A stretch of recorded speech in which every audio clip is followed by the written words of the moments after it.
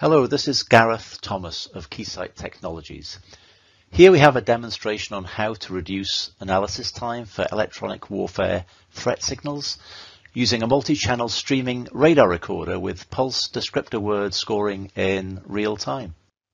Validation is important not only to give you confidence that the platform is going to perform as expected, but also because the availability of reprogramming time is limited by the test labs being in constant use. So if you've booked in a slot for your validation and you miss that spot, you're going to have to get back in line and that delays your program.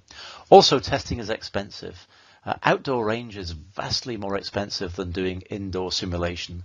So if your technicians can ensure they've accurately captured the pulse radar signals of interest and your analysts can quickly validate their system under test, then that hugely reduces the cost of test if they can run that as an indoor simulation. To address these challenges, Keysight has combined commercial off-the-shelf hardware with advanced software that allows real-time recording of wideband signals with analysis in the RF IQ domain and also in the PDW or pulse descriptor word domain, allowing PDW extraction and scoring in real time. So you can use this capability for validating your uh, emitters and also for validating any jammer capability that you are developing. Here is a screenshot of the real-time scoring feature. Each row represents one sampling interval, in this case every half second. The frequency, power, pulse and pulse interval attributes are displayed and compared within tolerances. The colored columns summarizing the scoring results for each attribute. Here's a quick demonstration of the scoring in action where we can see the green and red passes and failures in the real-time scoring scenario. On the analysis side, this is the interface for the PDW browser, the primary portal for pulse analysis. The top window with a solid blue bar is high-level graphing with a histogram count of all the pulses over the entire recording period. The graph window below it shows a zoomed in view over a shorter period of time, and here the y-axis is power.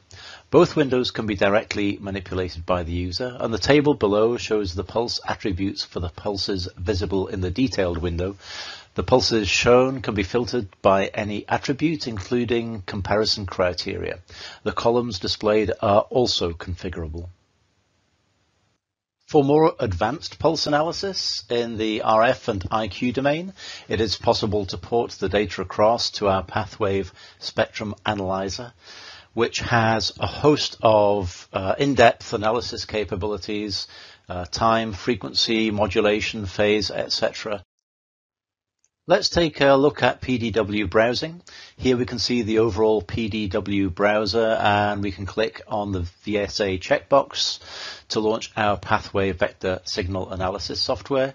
And this gets us into a more advanced measurement display going from the PDW domain into the IQ or in phase and quadrature domain. Now we can see the VSA software as well as our PDW profile. And then when we hit pl the play button for our recording, um, the 10 different pulses show in our VSA measurement window. And from here we can go for deeper analysis on the RF pulse profile. So here we have a highly scalable set of capabilities from Keysight that really help you accelerate and streamline the validation of your threat simulation libraries. So we've got advanced pulse signals recording and analysis for your radar and EW systems. You can use this for uh, validating your threat simulation signals and also to witness recording of your electronic attack systems uh, outputs. And this is all based around commercial off-the-shelf components with real-time digitizers, streaming mass storage with hundreds of terabytes of capacity, FPGA-based signal processing, and also uh, agile signal generation if you need to reproduce those signals in the lab. For more information, visit keysight.com.